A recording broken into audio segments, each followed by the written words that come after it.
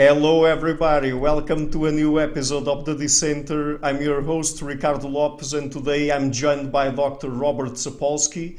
He is the John A. and Cynthia Fry Professor of Biology and Professor of Neurology and of Neurosurgery at Stanford University. He is a renowned researcher and award winning professor, and is also the author of books like Why Zebras Don't Get Ulcers, The Trouble with Testosterone um, and Primates Memoir, and more recently, Behave the Biology of Humans at Our Best and Worst. So, Dr. Sapolsky, thank you a lot for taking the time to come on the show. It's an honor to everyone. Sure, delighted. Thanks for the invitation. okay, it's my pleasure. So, uh, the first question I would like to ask you, and because I went through all of your uh, YouTube classes on the biology of human behavior or something like that uh, at the course that you have uh, at Stanford University, I guess. Um, I, I, would like to ask you because you talk there about the fact that we have to be careful when thinking about human behavior and the different buckets, the different disciplines that we have to approach it. Uh, just to not be inside a box while thinking about it. But uh, when you think about the different boxes, let's say, and how they are connected to each other. Do you have a sort of a emergentistic or a reductionistic approach to human behavior? I mean, do you think that uh, things emerge from activity at lower levels, or do, uh, uh, and or do you think that we can explain what happens, for example, at a mental level from brain activity or something like that? Great. This is, in effect, one of the central problems in sort of neuroscience these days, understanding the brain. We got a pretty good idea how things work on the level of cells, even molecules. We've got a good sense of how things work on the level of entire parts of the brain that will contain a billion neurons, even circuits in it. We just don't have a good science for how you go from one cell at a time to 10,000 cells that constitute a memory circuit, that constitute a bias, that constitute a conditioned fear, things like that. That jump is really difficult. Um, in the face of it, um, sort of if you're a, a, nuts and bolts neurobiologist, as I was raised to be, um, your bias is let's just get more and more reductive. The way you understand a complex system is to break it into its component parts.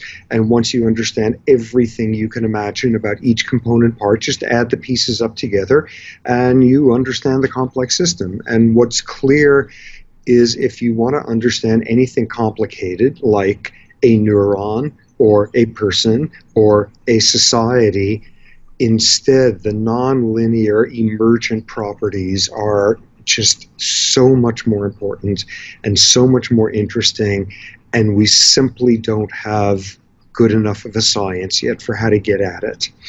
Mm-hmm. So, talking about the ultimate level of explanation of human behavior and things like, for example, evolutionary psychology, I mean, uh, I think that you are an advocate of group selection, biological group selection. Is that correct? Well, I was I was raised to to just shudder and and get embarrassed at the very notion that there is group selection and that you might not be like condemning it forcefully. The 1960s version of group selection was nonsense. That organisms behave for the group of the species. Um, the modern version, neo group selection, um, although a few people argue that it's not so neo, it's just a more sensible version of the ancient one. Um, but modern group selection basically can be summarized as there's circumstances where an individual with trait A sorry, will outcompete an individual with trait B. However, there are circumstances where a group of individuals with trait B will outcompete a group of individuals with tra- with uh, trait A. Um, in other words, circumstances of cooperation, of emergent forces, of mass action, things of that sort. that are deleterious on the level of one individual at a time, but are spectacular on the group level. And those are relatively rare circumstances uh, when that emerges, and those are relatively rare circumstances where selection is so powerful at that group level. But those relatively rare circumstances are the ones you're finding in humans that they're most interesting. So I'm not a group selectionist. I'm, I'm a multi-level selectionist. But um, amid that, yeah, selfish genes, selfish genomes, selfish promoter sequences on DNA emergent neo group selection properties are so interesting. yeah, I understand. And since you are an advocate of multi level selection, what do you think about the proposal coming from certain people like David Sloan Wilson and the philosopher Massimo Pigliucci uh, about the extended evolutionary synthesis in biology or, or in uh, evolutionary biology? Because the people nowadays are saying, or at least some of them, that we have also to expand and include things like epigenetics and culture and language and symbolism and other things like that. So, what do you think about that proposal? That's a totally valid level. I mean, epigenetics is turning out to be pretty important in explaining why one adult lab rat is more neurotic or more healthy or more capable of learning during stress or more pro-social or more of a jerk than the next lab rat, um, it's turning out to be hugely explanatory with humans.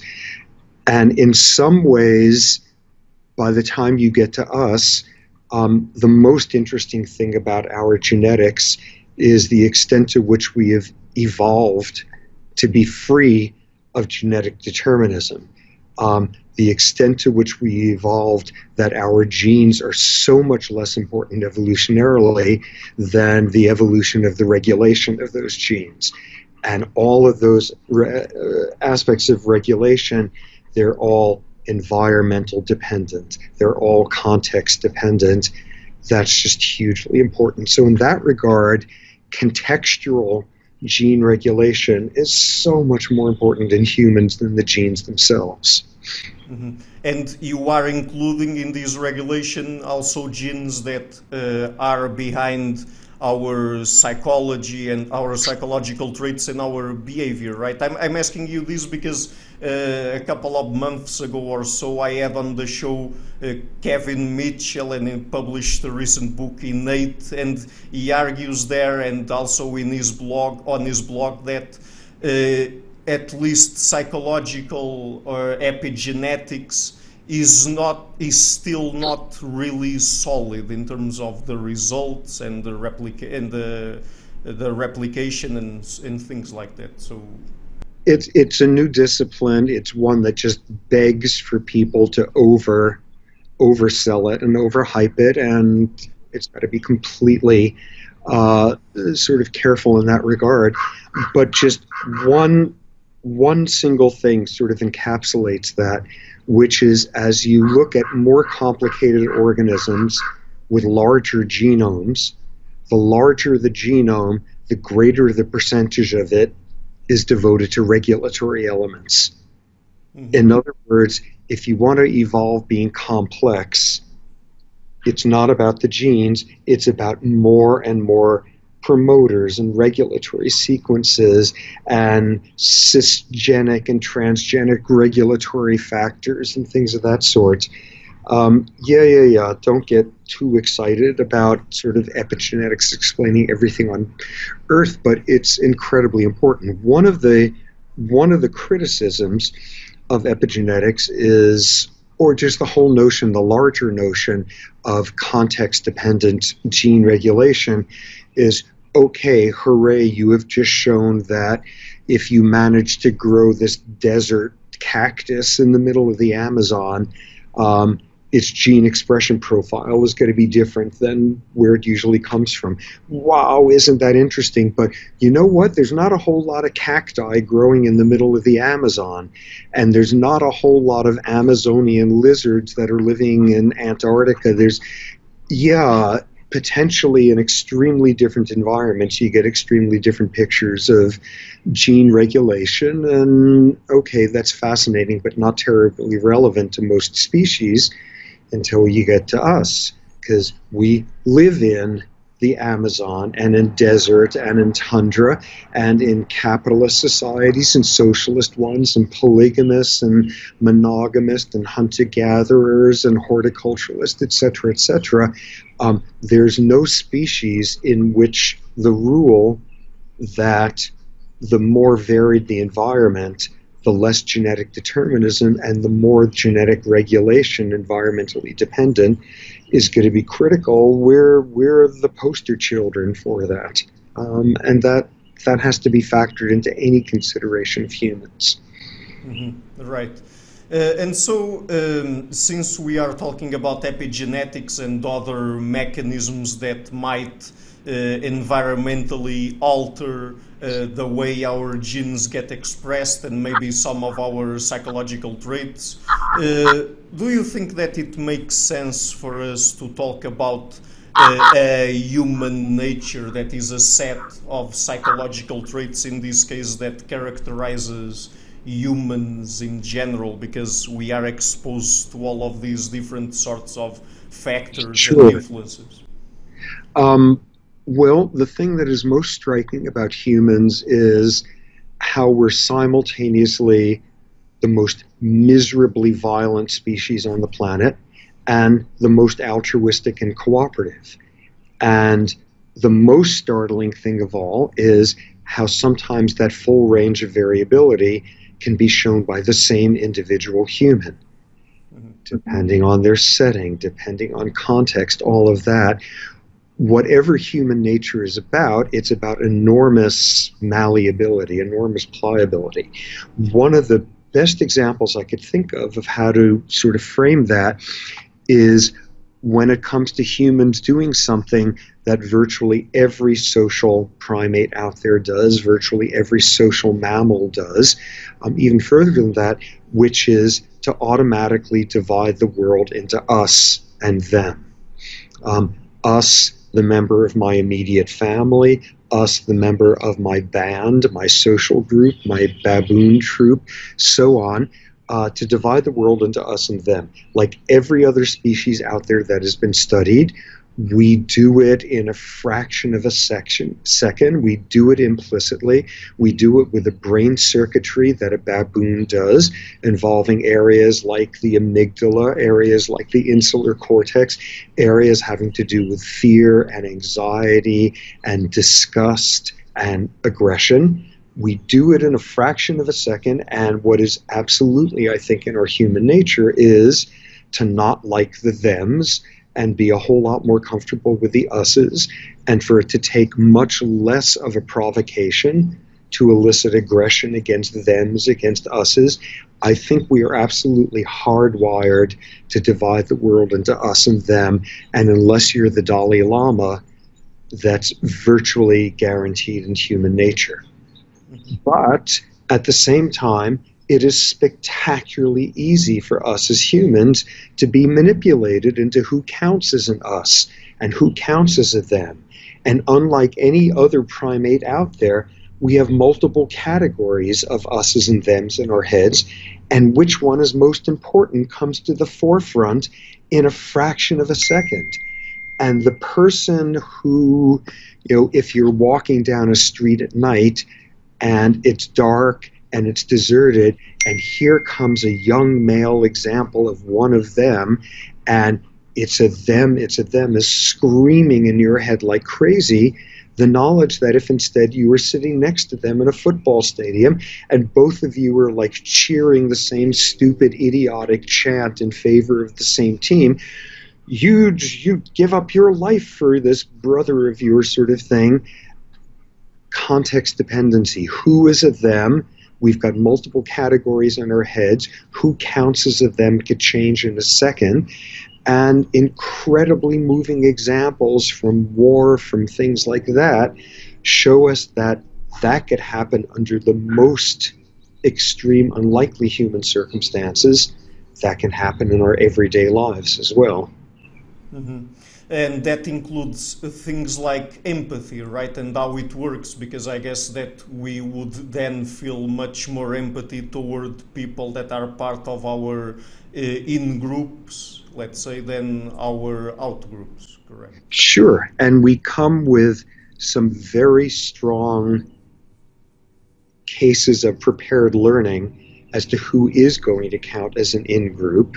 Um, and it is so much easier to feel empathy for someone whose face is like yours, whose problems are familiar, who is local rather than on the other side of some psychological planet.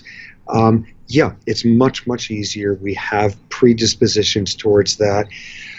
I think it is inevitable that we have some predispositions along lines of race and gender and age and all sorts of markers that we have of socioeconomic status, things of that sort, but none of them are inevitable. And amid those predispositions, there's remarkable studies showing that you recategorize people in a second time as to who counts as an us or them.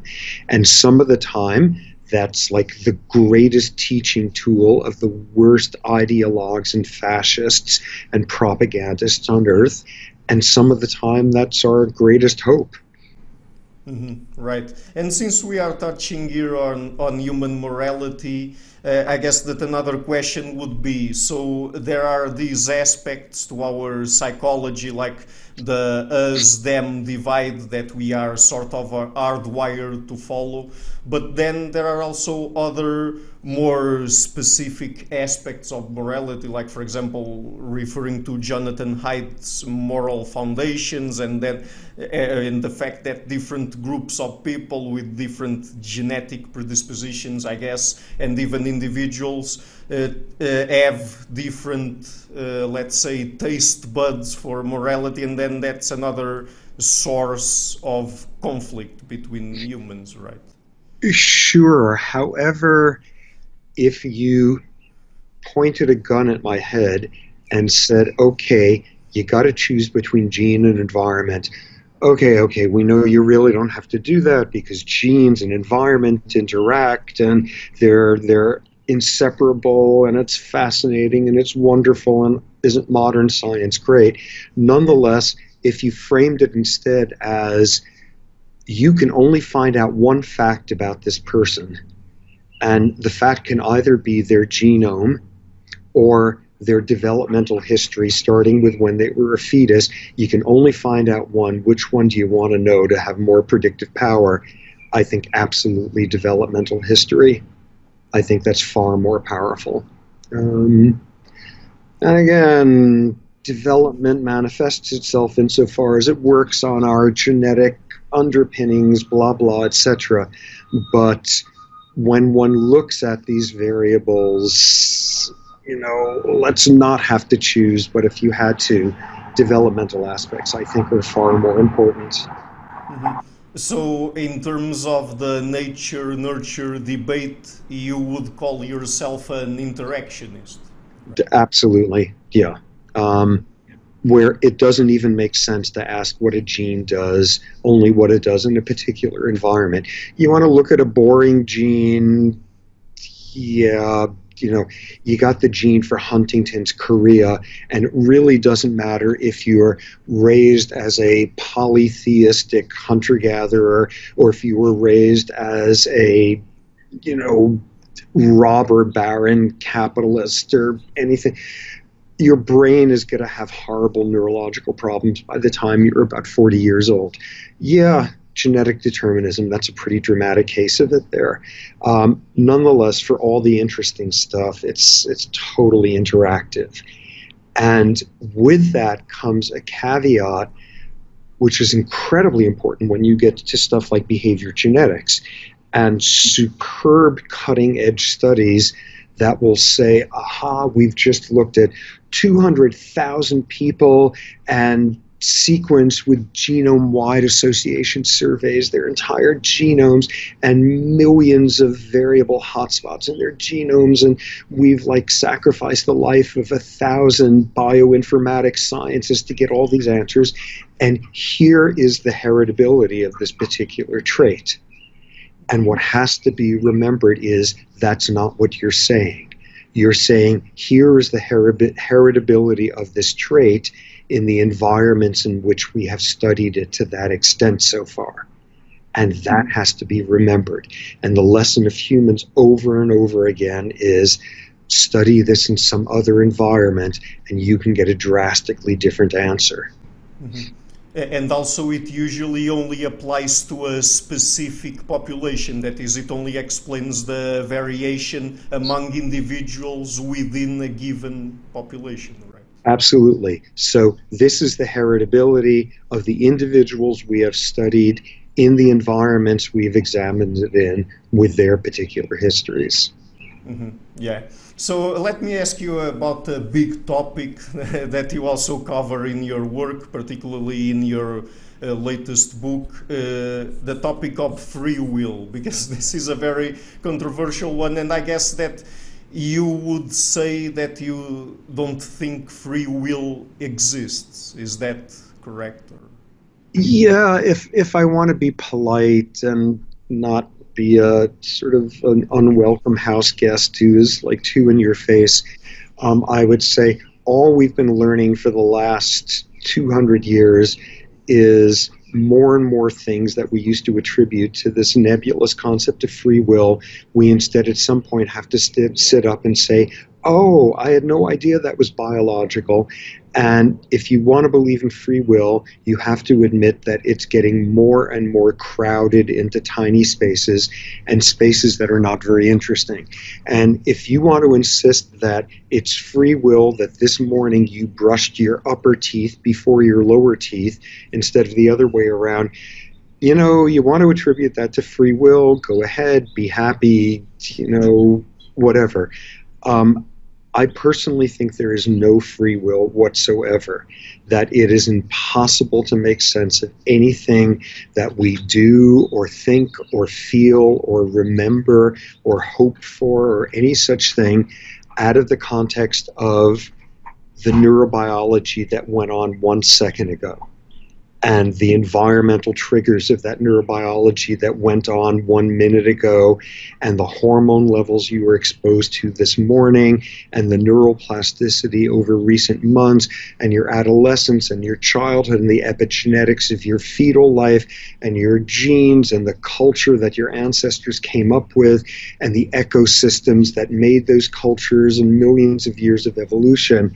You can't, we are nothing more or less than the sum of all of those biological factors that have made us who we are in this instance.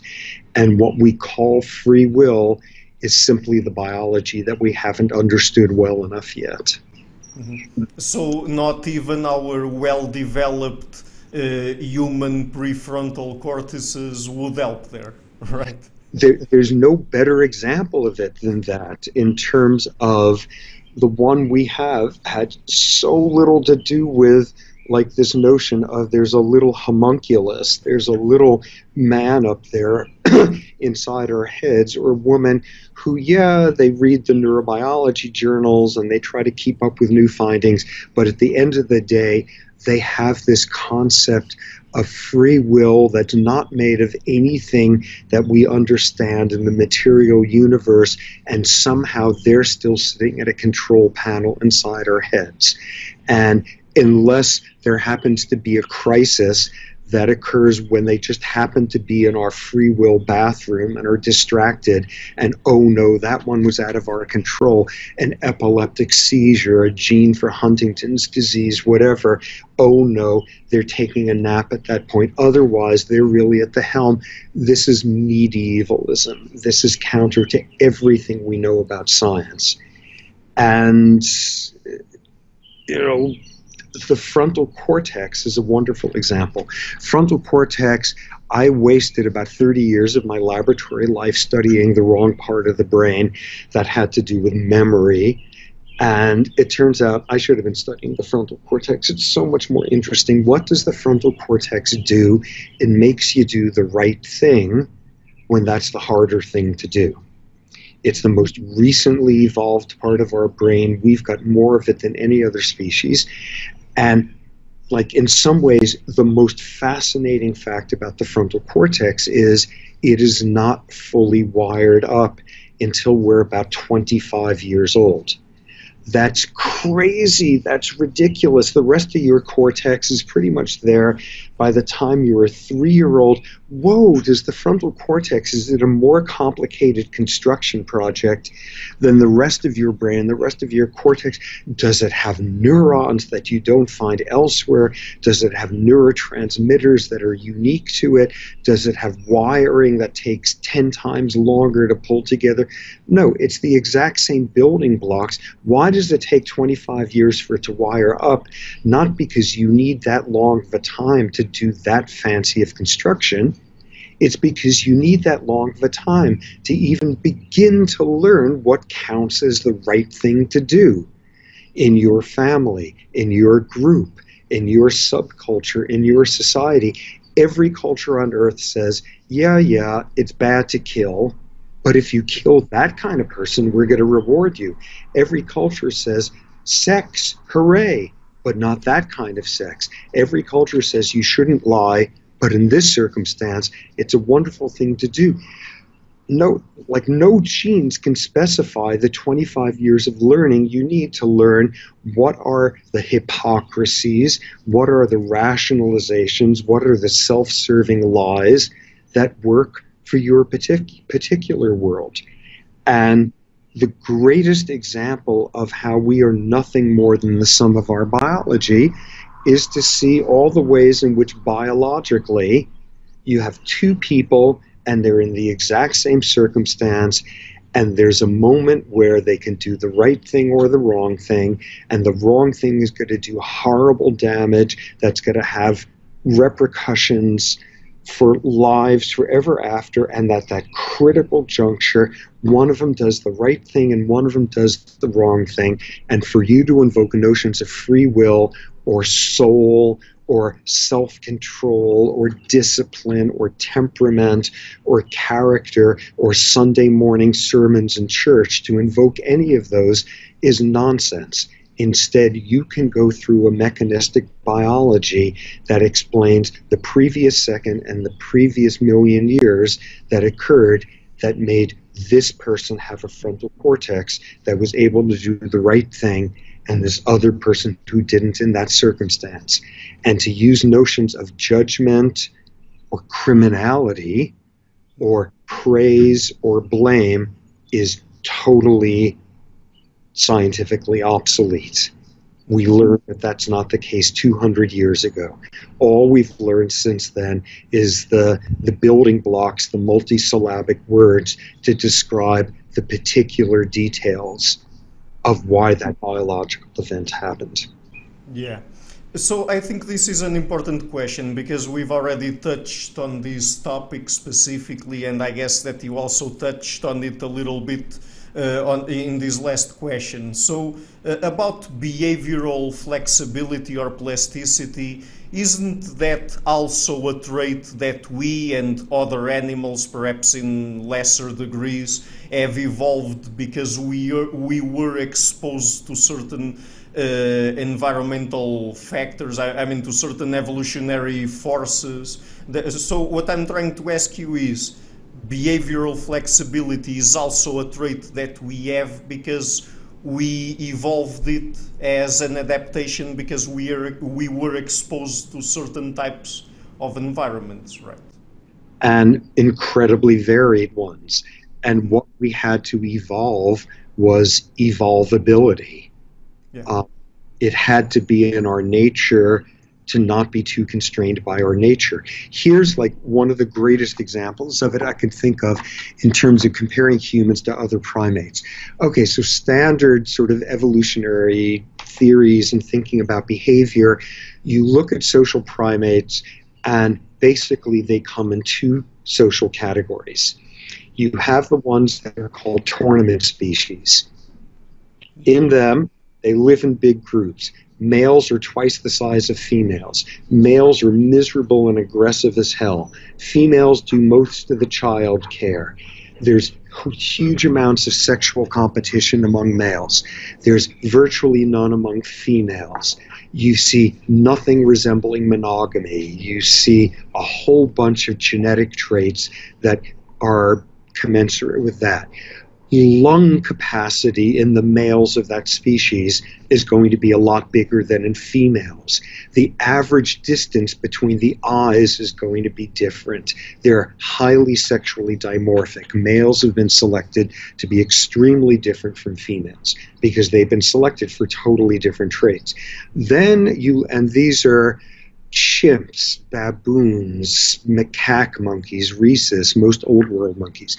Then you look at the pair bonding primates, they're monogamous. They pair bond for life. Males and females are the same size. There's hardly any aggression. There's a bunch of genetic diseases that they're mo- more prone towards that you never see in tournament species they males pay give as much attention for child rearing as females do. This is sufficiently the case. These are these are mostly New World primates, but also gibbons in Southeast Asia, all of that. So, show me the skull of a male of a newly discovered primate species, and show me the female, and just looking at are there canine teeth really dramatically different in size, or are they roughly the same size? And I can tell you how often they mate and what the sperm count is likely to be for males, and whether females are likely to cheat on the male who mated with it. It's that clear. Like, discover that one fact or any single other fact like that, and you know their entire social system, including their private sexual lives. So, where are humans? What has evolution produced in us by every behavioral measure, by every anatomical measure, by every genetic measure you can look at? We're not a tournament species, and we're not a pair bonding species. We're some way, somewhere halfway in between. And we're incredibly variable because one individual, behaviorally and anatomically and physiologically and genetically, is much more of a pair bonder, and another one is much more of a tournament species. And this is obvious. This is obvious to any poet or any divorce lawyer or anyone who has like studied anything about human heartbreak and complications and stuff. We're confused. We're halfway in between. And this is the case with so much of this.